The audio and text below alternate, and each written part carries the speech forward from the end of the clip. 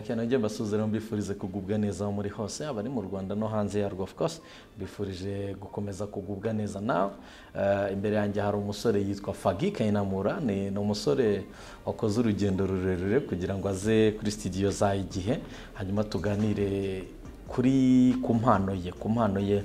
Ariko mbere yuko dutangira fagi karibu umeze gute? Ameze bo umeze fresh.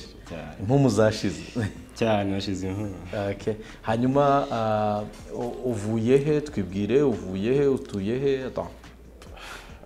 Uvuye mu karere ka gatsibo. Yego. Ni intara y'iburasirazuba yego. Eh, eh, umurenge nikiramuruzi yego i gakenke ku igake gasantere. Eh, kwa ba jaberi ba bosco. Eh, Bosco- rya irindi? Ruboneka. bosco kwa ba kiramuruzi kwa ba gisupusupu eh, Eh, aho ngaho Eh. harya ku gasantere bakatikati aho ni ho niviri ake ni ho uvuye Ah, ntabwo ari hafi n'urugendo rurerure ukoze uza mu mujyi wa kigali Ah, muri macyato twibwireho gatoya witwa gute amazina ni ayahe amazina yanjye ubundi niswe n'ababyeyi. Yego. Ni ishimwe patrick. Yego. Eh, ariko amazina nkoresha mu kazi ni fagi kayinamura. Fagi kayinamura. Eh, fagi kayinamura. Kuki ariyo wahisemo? Impamvu nahisemo fagi kayinamura. Nashatse akazina kabangutse Eh, then mbona ka fagi kaba kavugitse neza. Kafa gasore umufana wa manchester of Eh, course. oya nawe abafana chelsea. Ufana chelsea. Eh, noneho umaze kumva ko kabangutse nshaka irindi ririgaragira ryarifasha guhama Na- narasashe nsanga hari n'abandi bayitwa. Mm. nongeraho izina kayinamura. Yego. Ni izina ry'umusaza ubyara data. Yego. Akunda ukuntu abantu bamubwira numva namukurikiza. Okay. U- ubasha kumukurikiza no guhesha ishema igisokoro ni sawa cyane. Hanyuma u- uri hano uri hano nka reka nkwentroducingeho gatoya. Uri hano nk'umwanditsi w'indirimbo umaze iminsi yandika indirimbo nyinshi ariko abantu batari bazi ko ari wowe.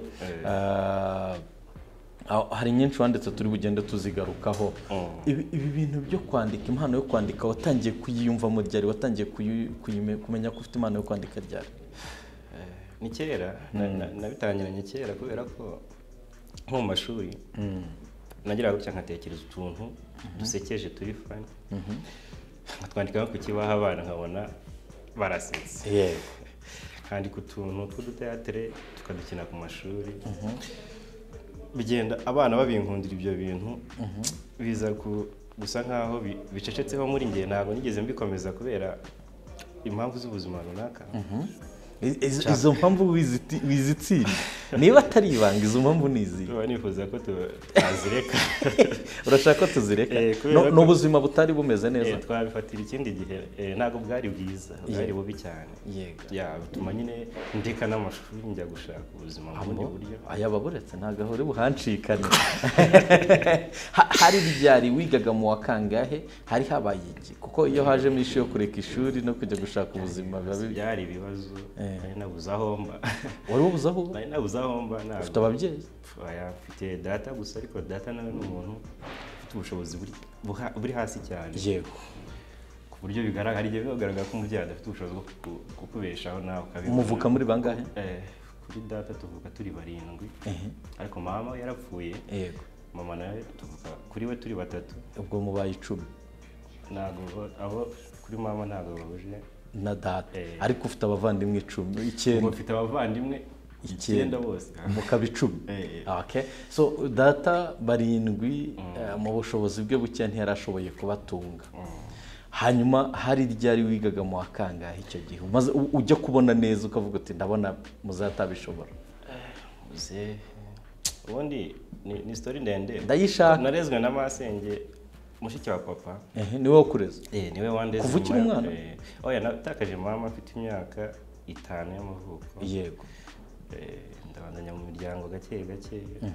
Ndazerera ngira iki? Then nza gutaruka njya mu muryango wa data kwa masenge. Yego. mushima cyane. Arandera. N'ikiramuruzi nawe yayikira mu ruzina eh, arandera amfasha kubaho. Antoza imico imwe n'imwe. Ngejeje imyaka ngeze mu wa kabiri w'amashuri yisumbuye yego. musoje njye mu wa gatatu ubwo nabonye ko eh, yari afite nawe ubukene ntabwo yanderaga kubera ubushobozi. Yego. Yanderaga kubera umutima. Eh, hari rya rugo?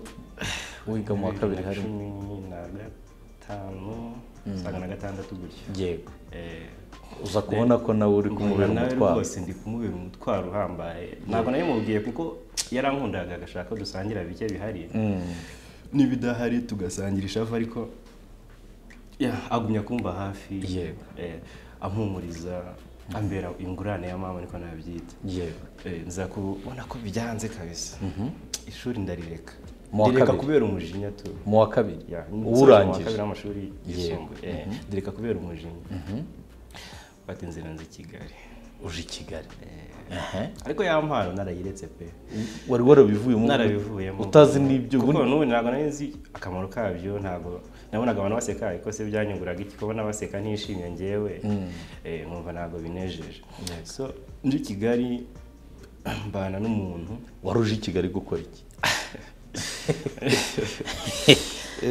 Nari nje gukora akazi ko mu rugo. Bari bakakuragiye eh, ni umuntu wari ukandangiye. Ehe.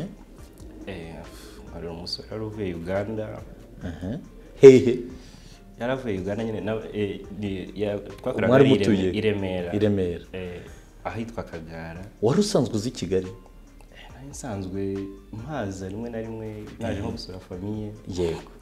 Ariko ntabwo nahazaga cyane. Ntabwo nari mafite inshuti nyinshi. Yego. naje akazi nkarangiwe n'umuntu w'inshuti y'abo ngabo ariko nawe ukiramuruzi yego. Ndaza ndagakora ndagakora tumarana nk'imyaka itatu. Muri iyo myaka urumva nararyaga. Nakora akazi ke ko mu rugo ariko ntabwo ntabwo navuga ko ariko byari bimeze mu by'ukuri. Yari yari umuntu wamfataga nka mu- mu- mukuru wanjye.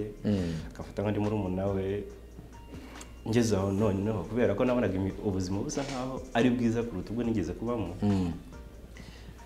Ntangira gutekereza ku kintu cyangirira akamaro ejo hazaza. Yego. Ndongera ndicekinga neza ngo ndebe ko talenti nawe afite talenti nongera gufata ikaramu ndandika. Kwiga ariko byo warabihagaritse ubu narabihagaritse okay utangira kwandika. Ntangira kwandika utu- utuntu tw'uturirimbo. Nkatumusomera akambwira ati utwo tugambo ni twiza utubwiye nk'umukunzi. Ehe. Ati ntago. Ntago yakwanga.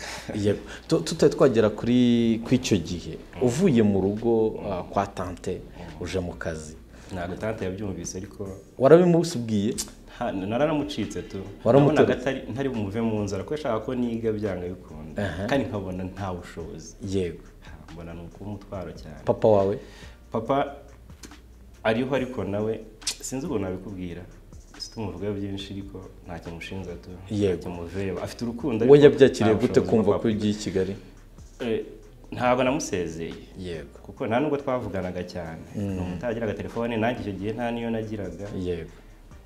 Nubwo wanafataga ibyemezo biri crazy mvuga Byawe nyine. nzakira. Eh, simbizi. eh, abavandimwe? Abavandimwe. Bo babyakiriye gute? Nka bashiki banjye nka nka babiri nibo nabashaga kuvu- kuvugisha. Eh, then nabo barigaga kandi nabo urumva bagiye bafite ba mama ya nkumva ntabwo ari ngombwa ku- kugira ibyo mbabwira cyane. Yego. Bakankumbura ko nageze i kigali ngura telefone tukajya tuvugana. Kuri kuri kuri wowe na hari akantu ntakubajije sorry eh, ntabwo ndi kwibanda cyane kuri famiye yawe ariko na byo biba ari byiza kujya abantu baganire bamenyane. Ah, kuri famiye yawe kuri mama na papa muvuka muri bange wowe na mama na papa. Njyewe abo tuvugana kuri mama na papa. Nta n'umwe. Nta n'umwe. Njyewe wenyine. mama na papa bambyaye ndi umwe yego. Eh, usanga papa afite mama wawe afite abana- kuri abana? Papa eh, kuri papa ndi imfura ye. Yego. Then kuri mama ndi umwana wa kabiri. Okay. so hanyuma rero twikomereza ko kari akanyuzemo kugira ngo abantu batakomeza kumavuga gutyo. Ah, nk'ubwo nari nkubajije abavandimwe kandi umva ko mudahuje ababyeyi bose. Hanyuma uje i kigali utangiye kujya wandikira imirongo wa muhungu ni umugande? Eh, ni umunyarwanda wavukiye i bugande ukamwandikira ukabona aba interesting. Nkandika utuntu nkuba tu- turanyuze. Natumusomera ariko bose urumva utu tuntu gutya na gutya. wabaga ubizi ko ari indirimbo? Nabaga mbizi ko ari indirimbo. Eh, ntekereza n'uburyo wenda naturirimba ariko nkumva ijwi reka da. Eh, arambwira ati ariko ati utiriwe unaririmba wakwandika. Kwandikira Niwe abahanzi wabikubwiye? indirimbo. Eh, urugero rw'abandika. Ambwira ko amagambo nandika uyabwiye nk'umukunzi atagucika tu. Nehe. Eh, nti ariko ibintu wabikomeza ya bitangira gutyo. Initiative nafashe ni uguhita mbikomeza mbigira. Noneho ngura amakayi koko. Nkajya nicara nandika. Mm. ukajya wicara wandika. Hanyuma ah, byaje kuvamo akazi gute? Waje kwisanga kuri studio gute? Ni wa bosi wagufashije? Cyane we wagiye kwihigira. Ni ukuvuga ngo natangiye nshakisha nimero z'abahanzi bamwe na bamwe. Natangiye nandika n'utuntu tw'uduhipapu eh, buriya na hip hop urazifite? Cyane mba nzifite imirongo myiza. Noneho bose akaba sinzi ukuntu yari connected n'abandi bantu baziranye n'abahanzi. Okay Eh, nkamubwira niko wanshakiye nimero ya runaka akayinshakira runaka namuvugisha ati ni fresh ati tuzabonana. Bikarangira bityo. Ngumya gupushinga nshyiramo imbaraga kugera aho bikunze wapushingaga gute kubera urumva wari umukozi wo mu rugo? eh. wari umuntu udafite ubushobozi buhambaye umuhanzi n'umustar ni umu- ni umubosi uburyo bwo gupushinga uvuga ni gute? Gupushinga eh, nagerageje uwo navugishaga narasaga ku ntego. Ikintu nakoraga cyose narasaga ku ntego y'icyo mushakira. Ko baba bafite umwanya nk'umuntu wa mbere mwavuganye ninde umuntu wa mbere twavuganye buriya ni ni Grace. Sinzi niba byibuka nawe yego. Ariko nkumva bafite umutima ari open. Mm, nkamubwira ibyo mushakira. Gusa n'ibyaje gukunda ko tugerana ko ayifata eh, ko hari Byapfiriye igikorwa akora. naje gutakaza telefone mbura nimero ze mbura uburyo nongera kubona Mm. N- numva mugivinzeho apu kubera ko iyo uhamagaye nk'umuntu kangahe ukumva nubwo yaba akuvugisha neza ukabona ntacyo bitanga hari igihe ugera ugacika intege. Yego. Ariko ku bandi noneho nkagira izindi ngamba mfata uyu nguyu sinzarekura tuzamutesha umutwe mpaka. Ninde wa mbere mwavuganye mukanakorana?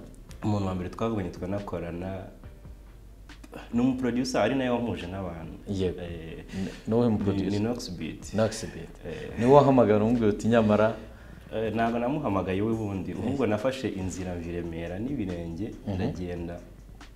Njya aho yakoreraga mu- ruganda. mu biryogo. Eh, Yari ataraba- eh, yari ataraba Yari- iminsi. Yitwaga Eh, Aha. nsanga ari kumwe n'abantu benshi benshi benshi pe.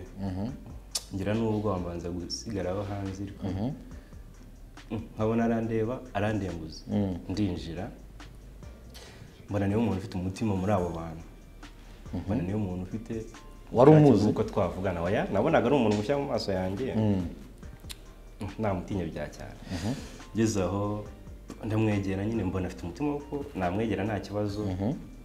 Mubwira utuntu nandika munyuriramo. Ati ni fureshi utu tuntu ni fureshi ubwo twahana gahunda kazajya uza studio nox amanimero ze nanjye musigira iza- izanjye ayisevinze ndavuga ni wawe mbonye yasevinze nimero yanjye ndavuga ni biciyemo ya ndavuga ni biciye naho ubundi natangiriye ntaho byatangiriye Eh, hanyuma ukajya ujya kuri studio indirimbo ya mbere wanditse niba ubyibuka hari ryari? Ni iyihe? Iyo wanditse igakorwa?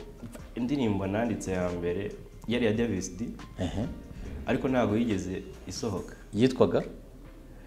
Yari ni we wari wayinemingiye mufasha Wowe wari wamuhaye amagambo. Eh, eh, yarayineminze then mufasha kudevelopa Yego. Yeah, yitwaga champagne ariko ntabwo yasohotse. Ntabwo yasohotse. Okay. ndumva nanayibuka nigeze kubona hari abantu bavuga ko agiye gusohoka sinzi wasanga izanasohoka nyuma. Hanyuma iyo yasohotse noneho iya mbere wakozeho iya mbere yasohotse nkumva birandenze byari bimaze kuba ibindi bindi. Kuko yasohotse atari yo ya mbere nanditse urumva nari maze kwandika indirimbo nyinshi mu masitudiyo ni mu maso yawe ya nasone yanasohoka niyo ya mbere ya- wanditse irasohoka ijya hanze. Eh, nafatanyije nabo turayu- turayubaka fresh nasoni nawe wahujwe nawe na noxi Eh, nawe ni Nox wamuje nawe. Okay. Ah, ni indirimbo wishyuzaga kugira ngo bayigukorere wishyuzaga angahe Eh, kugira ngo bayinkorere. Kugira ngo Na- bayikore donc- Oya, kugira ngo bayikore ni ukuvuga ngo ngewe nashaka kugaragaza ko mfite ubundi mbere na mbere numvaga nibaza nakwandika indirimbo igakorwa n'umuhanzi akayiririmba agakoresha umwuga akayiririmba. Maze kubona bishoboka none se byashoboka ko isohoka? Mm. mbona birashobotse ese yakundwa najya nyumva no muri karitsiye aho ngataha? Mbona birashoboka.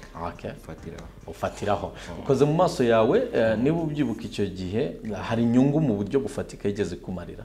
Mu buryo bufatika pana kumenyekana kuko n'ubundi wasanga ntabwo nigeze mba mentioned kuri yo.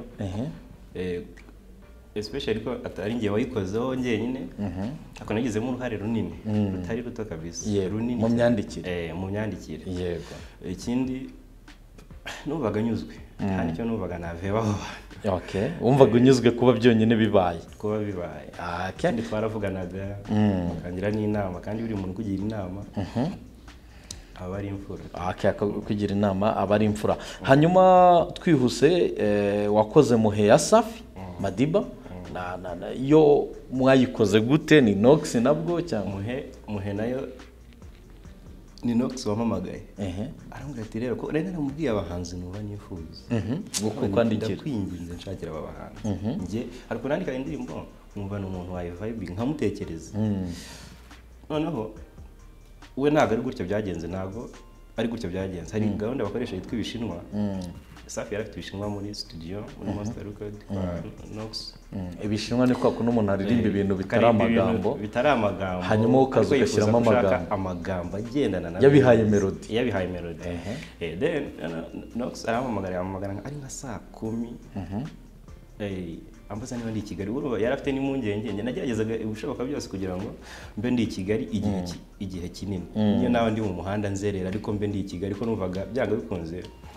Kabwe nabo ngo azagusanga mu murwa. Eh no kuvuga ngo numvaga ngomba kuba ndi tayari. Eh. aramvugisha ati se uri i Kigali uri mu ntara? Ndi i Kigali. Ari ndi i Masaka.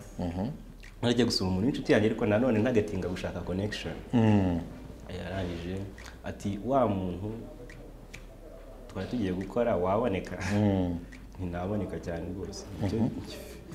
Mus- mubwira ibisabwa biraboneka. Icyo gihe n'ibiki wasabaga ntabwo taransiporo byari byoroshye. Kandi kuva i Masaka kugera mu rugando byabaga bi- Amafaranga. nareraga ngasanga ibirenge ntabwo byagerayo. Byagerayo. Eh, wasabaga itike eh, ya apa y'itike hari ikiguzi runaka mubwira ngo wenda muranyishyura ya? Nari ntaranyurwa no kubona ibintu numvaga nifuza kubona ibintu biri hanze. Hanyuma mu zindi ndirimbo na yo ubwo tubonye ko nta kiguzi wayishatsemo? Ya uh, ya ariko umuhanzi safi we ibyo yankoreye nyuma yayo twabaye inshuti mukesha ibindi byinshi. Ntabona icyo ngura. Mwabaye inshuti ubu ngubu uri inshuti na Safi Madiba. Eh. Ah, hari n'indirimbo yitwa nshaka ko tuganiraho ni nyinshi wanditse mu by'ukuri ariko hari nkeya zasohotse ubu ngubu twaganiraho. Hari iyitwa ihuguza ya Zizou Pacino na The Ben iyi iyi ni indirimbo umuntu atatinya kuvuga ko ifite hit hano hanze cyangwa se yakunzwe. Ni- ni we wayanditse na yo. Ya ni jye wayanditse na yo. I- ihogoza yo mu kuyandika byagenze gute? Tubwire story yo- kuyandika. Urumva zizu tuba tumaze kuba inshuti cyane. Kubera Nox yakoraga muri Eh, studio ya Zizou. yakoreraga muri studio ya zizu kandi indirimbo yose nandikaga zizu yagiragamo uruhare mu buryo bwo Nawe yabaga ahari. amagambo eh, yabaga ahari. Urumva duhamagarana dusuhuzanya. Arangije arampamagara arambwira ati ndashaka indirimbo imeze itya? Ya. Nanjye ndayikompoza eh, n'ako kanya ntabwo bitinda Ake, mujya muri studio barayikora hanyuma bigenda neza. Ubu ukoreye The Ben? Ya noneho nara- naraye ngikompoje muhaye tayito bahita bashyiramo ibishinwa. Andazaho gahunda ifatika. Mbyuka nzamuka. Eh, wanabahaye melody? Oya ntabwo melody na yo Bo bahaye, bakoze ahubwo bakoresheje ibishinwa. Then ndaza ndabisemura. Ugashyiramo ikinyarwanda. Eh, iyo hari amafaranga afatika wakuyemo cyangwa nabwo wakuyemo connection ya ntabwo- amafaranga rero ntabwo amafaranga nabonaga ntabwo yabaga ari ay'ikiguzi Cy'indirimbo, kwa kundi umuntu aguhereza amafaranga ati wenda iyi ni miliyoni. Wifashishe. Eh. wifashishe.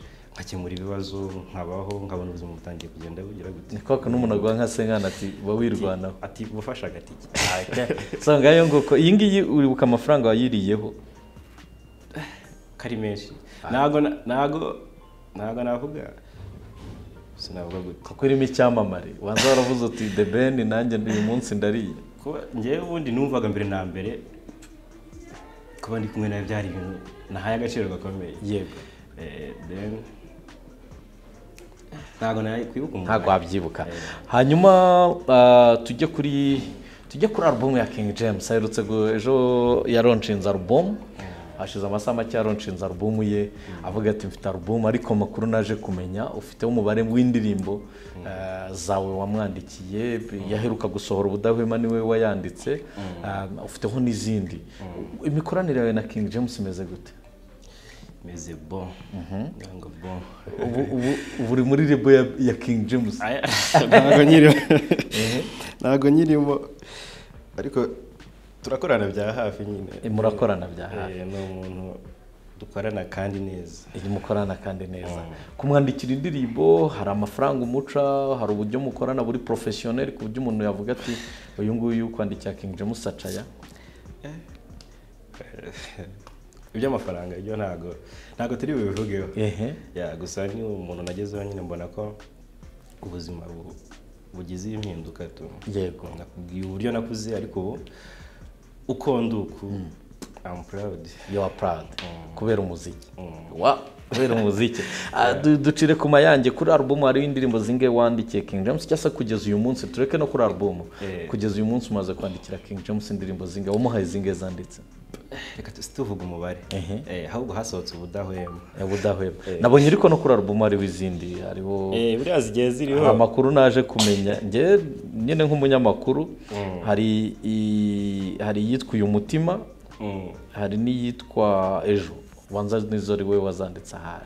Warazanditseho. Reka ndeke kuvuga ngo waraza ari wowe. Na- ntawamenya niko kuri hariho izindi ah, kuri alubumu hariho izo wanditse. Eh, ziriho. Okay so uh, hanyuma kwandika noneho kwandika ni indirimbo wanditse ikaguhesha amafaranga menshi? Ukavuga uti ageze kuri konti cyangwa kuri mobayiro mane yanjye ndayacakiye. yarangaye. Yari amafaranga magana tureke kuvuga umubare ariko oya ntacyo ni muri magana gusa. Yari indirimbo ya ya minisiteri. Ya indirimbo ya minisiteri. Yakozwe abahanzi batandukanye. Ninde rero gubisikira n'izizo n'izizi mbabarira umbwire nk'amafaranga baguhaye icyo gihe. kubera ko eh, ni ni biri biri biri biri birinteresa cyane kubera wa mwana wakuranye inzozi wari warabuze ibyiringiro a- akaza kwisanga impano ye ishobora kumuha amafaranga ibihumbi magana atari ya- nibaza ko ariyo mafaranga menshi wari ubonye n'amaso yawe? Ni na yo singira ngo numvaga. Ubundi nakuze numva ubundi ibihumbi nka mirongo bitanabaho mu ntoki z'umuntu nkanjye ariko nyine iyo ndirimbo nayiboneyeho ubuzima. Yari indirimbo imeze gute? Yari yavugaga iki? Yari ihe kampeni yari ya minicom tu. Minicom. Eh. nacho ntacyo na minicom reka tuyirisheho hiti. Yari ya minicom warayikoze baguha ibihumbi magana angahe sireta wenda tuti zizo ziza guhangaye kuko zizo niwe wari watsindiye isoko umubare nyine niwe ntari gushaka ako ni muri magana? Eh, nyine na- muri iyo minsi nari ndiho neza eh bagukomye magana? Eh, ni magana. Okay. hanyuma ni iyihe ndirimbo wanditse ujya wumva ukavuga uti wow I'm proud of this one. Ndi proud yuko nakoze aka kazi indirimbo zose nanditse ndazikunda akora akaririmbo kitwa tasiyana. Eh, ku musore witwa pride? Pride. Pride. Pride w'i nyanza. Zizu yari yatangiye gufasha. Eh, ni akaririmbo nyine nanditse nanjye gasigara kankomanga Eh, tasiya na buriya ni we wayanditse. Eh, harimo n'agastori keza. Na zizu zizu ntabwo yakwiyoborera Eh, zizu ntiyakwiburira ufatanyije na zizu nimwe mwanditse tasiya cyane. Okay.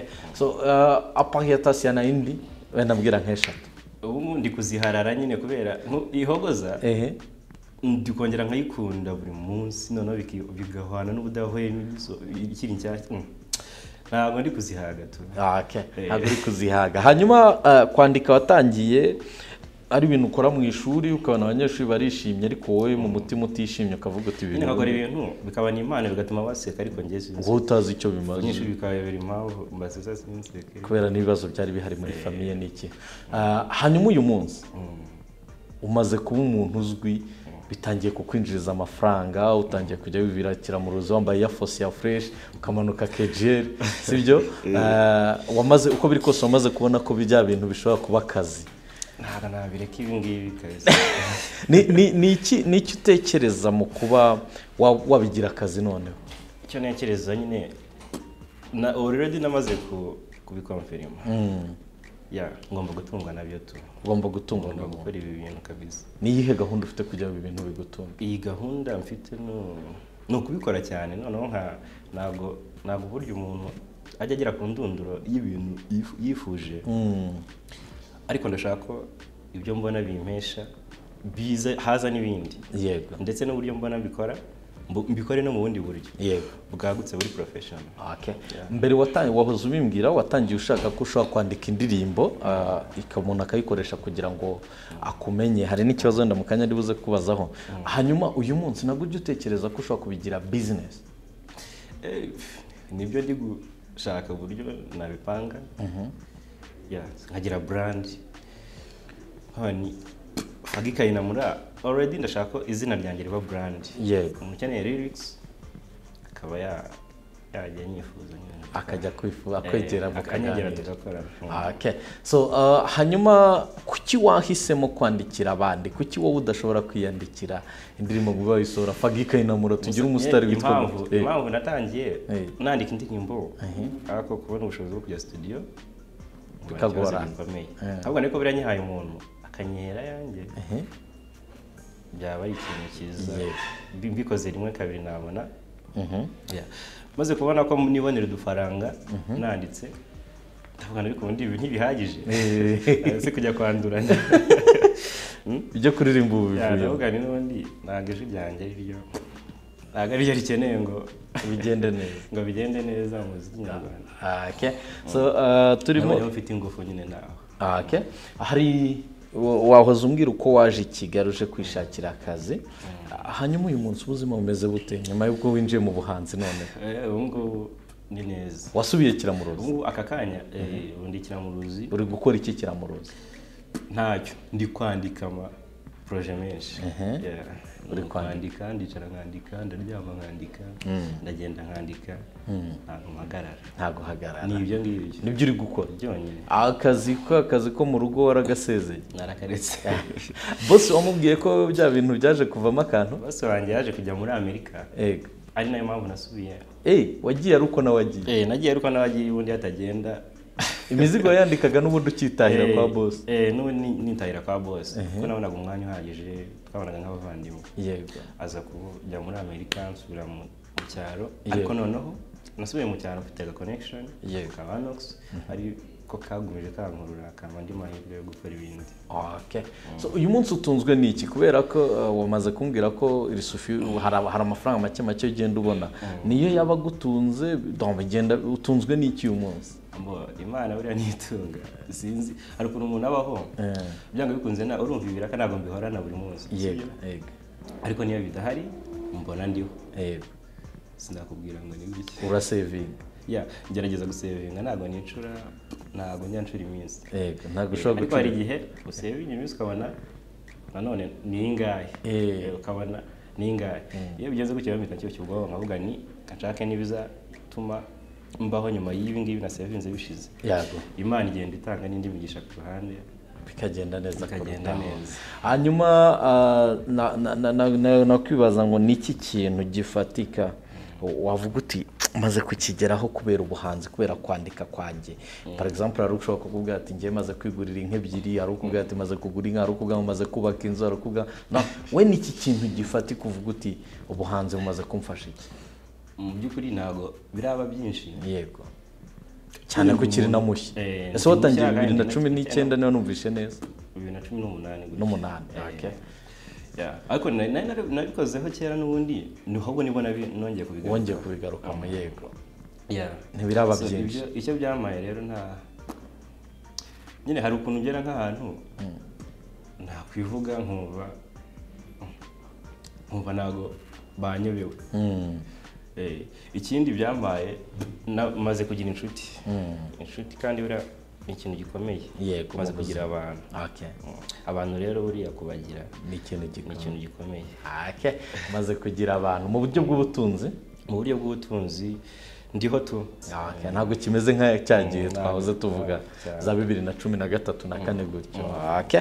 so um, hanyuma rero hanyuma n'icyo ubona gikwiye guhinduka kugira ngo fagi y'umwanditsi ahabwe agaciro cyangwa se bwa bwanditsi bwe bwamubyarira umusa- bwamubyarira umusaruro ejo ejo bundi nawe yiteza imbere. Sinzi muri rusange mu- mu rwanda ngenda ndeba nko muri amerika uburyo abanditsi baba bahagaze.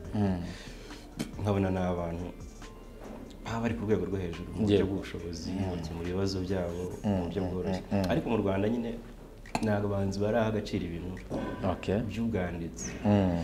kandi mu by'ukuri ariko biri kugenda biza. Mm. biri kugenda biza niba nanjye mbona mutwe twanjye dukeya. Ndi fagi. Mhm. ubwo hari abangu- n'ivumbi Eh, urabyumva gakocore ntaki uti nkada n'ivumbi we ubwo bimeze bite? Eh, urebye nyine ni uko Okay. So uh, hanyuma wigeze kumbwira uti nta soni ntabwo yabampaye credit ku nk'umwanditsi. Uh, icyo ubonye indirimbo yawe yasohotse nta credit baguhaye ubyakira gute? Sinzi uburyo mbifata ariko icyo gihe nta kintu ahubwo ndi kubitekerezaho aka kanya nkabona iki gihe ntabwo wabitekereje. Eh, ntabwo nabitekerezaga. Numvaga ndi mu kigali nyine numva hit iri hanze ukavuga uti nagakoze. iri hanze none kweri. Ariko ubu ngubu ni bwo ndi kubitekereza nkasanga nkabura icyo ndenzaho zirakenewe. Nkasanga zirakenewe. Ubu ni bwo uri kubitekereza ukabona ko zikenewe. Hanyuma turi no kugana ku musozo kugira ngo nkureke wisubire kiramuruzi ntabwo ari hafi. Ah, turi no kugana ku musozo w'iki kiganiro. Ah, hari abahanzi ujya wicara ukavuga uti ndifuza kuba nakwandikira uno muhanzi. Nk'uko n'ubundi wabikoranye muri Dream hari lisite wakoreye Nox uramubwira uti wampuye n'uyu n'uyu hari umuhanzi mutari mwakorana ujya uvuga uti nk'uyu mwana hari indirimbo mfite. Byanga bikunda kuko hari abo nifuje birakorwa. Nka safi. Ehe. Urumva nakora n'ibindi namukorera ibindi. Yego. Kuko nakuze nkunda vibes. Ze king nawe ni uko Eh, undi muntu buriya nka arufa nyine n- ni benshi. Ni- buri muhanzi wese mba numva na- namukorera. Yego Ah, okay. buri muhanzi wese uba wumva wamukorera bikagenda neza kurutaho. Ah, hanyuma ubu ngubu aho bigeze aho uzumbwira kuri kubitekerezaho nk'umuhanzi uri aho ngaho ushaka kumwandikira indirimbo yaba abo mu rwanda baba hanze. Ah, bihagaze gute? Murumvikana amafaranga angahe? Hari igice runaka amaze gushyiraho ese yanagukura he way. Kiramuruzi. Oh, ku mbuga nkoranyambaga mba ndiho. Ni kwa kundi? Ni fagi? Ni fagi kayinamura kuri Niko Twitter. Eh, hose. Okay, hose hose. Mm. Mm.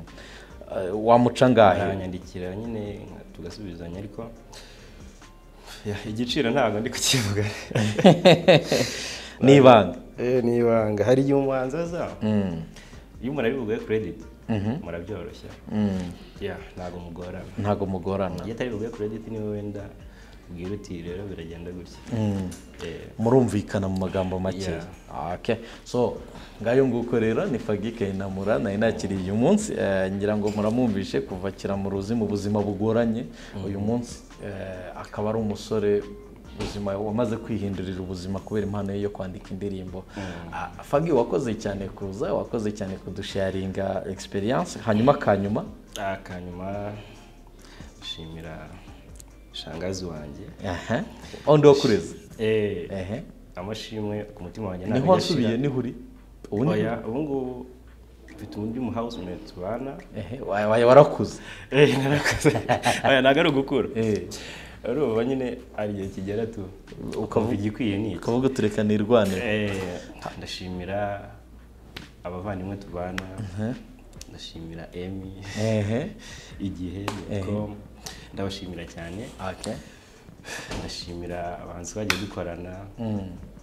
Ndashimira inshuti zanjye zose. Urateganya gusubira ku ishuri? Ntabwo wagenda utakinsubiza. Ariko harimo n'ubukene kandi ubukene uri kubutera ishoti. Nzabireba hari igihe narisubiramo. Ndarikunda ishuri Aho uba wumva wize wakwiga iki? By'ukuri numvaga nakwiga ubunyamakuru buriya nkunda kuba nkunda akazi k'ubunyamakuru cyane. Numvaga ari byo nzakora ariko ntibyaje gukunda ko nkomeza kwiga. Ariko ndaza kubihagurukira buriya. Ubushobozi noneho ubu ni fureshi Wa- ntabwo buriya nyine ariko byibuze. Gushakisha. Ariko nibuze mfite naho nakomanga nkabwira umuntu. Ya Ah, okay. yakwiye ko no gusaba abantu. So ngayo nguko ni fagi ni fagi kayinamura ni umusore ugira urwenya banditse akenshi bari n'abahanga mu kuganira. Ah, fagi wakoze cyane ku mwanya wawe waduhaye hanyuma imiryango irafunguye. Eh, n'ikindi gihe wadukenera turahari ariko natwe tugukeneye nibaze ko imiryango ifunguye. Eh, ntabwo ku- kuboneka. Ya igihe cyose. Kandi namwe nizere ko nibakenera. Aho iyo miryango irafunguye nabikubwiye. Urakoze cyane. wakoze cyane fagi yego cyane.